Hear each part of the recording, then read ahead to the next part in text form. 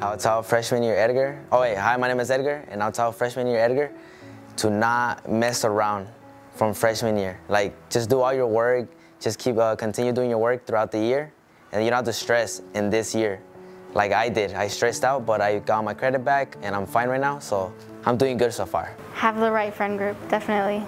Really, really have the right friend group. Trust me, you're not gonna regret it. When you have the right friends in freshman year, it's awesome. Hi, I'm Javier Elisandro Otero. Not to worry.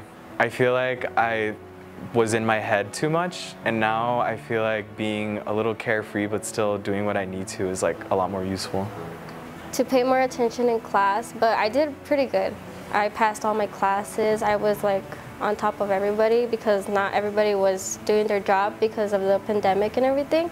But um, I did pretty good, so. Well, I feel pretty like happy and sad at the same time. Like happy because I'm gonna graduate, I'm gonna, I'm gonna be like my own person, you know, like out of school.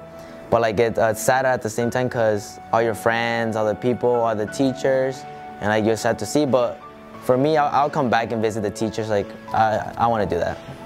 Scary, definitely.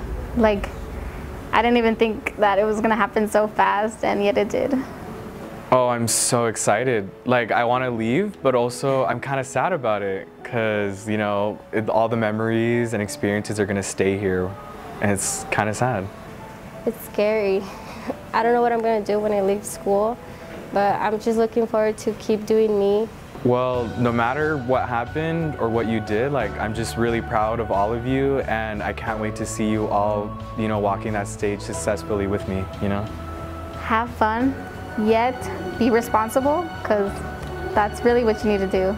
The rest of the classmates, uh, classmates is uh, keep grinding and don't stop and just continue following your dreams and don't let it, don't let no one ruin it.